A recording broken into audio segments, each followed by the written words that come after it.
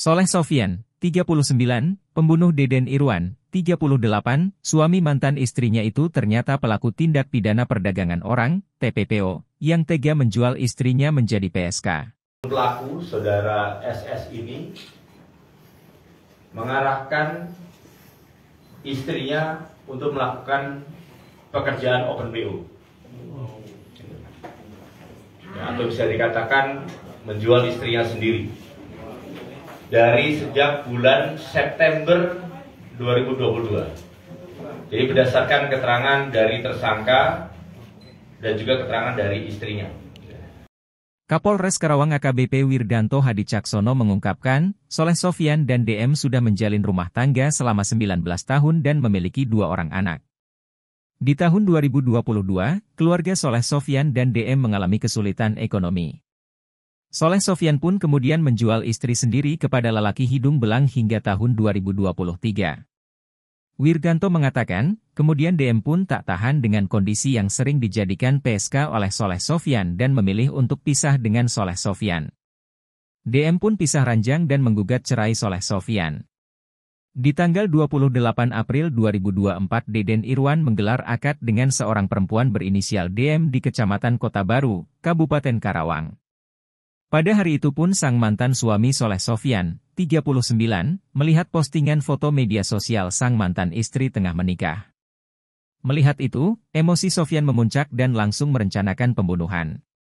Pelaku pun langsung membeli cerulit di pasar Cikampek seharga Rp100.000.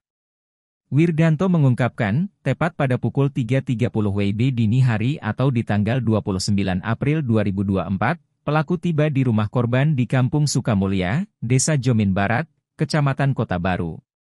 Kemudian, kata Wirganto, pelaku sempat melihat situasi. Dia kemudian membuka gorden kamar dan melihat mantan istrinya tengah tidur dengan dua anaknya dan Deden Irwan.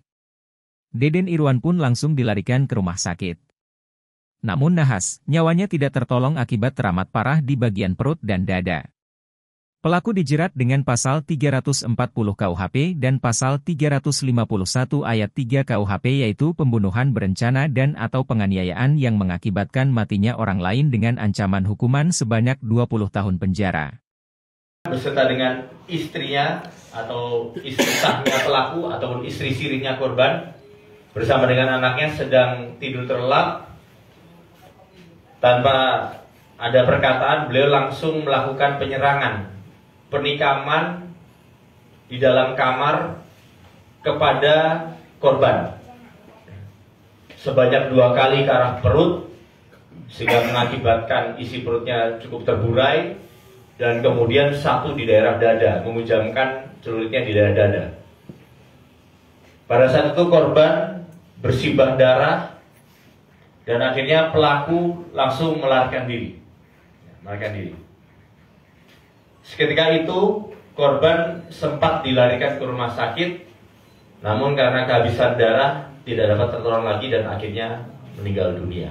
Download Tribun X sekarang, menghadirkan lokal menjadi Indonesia.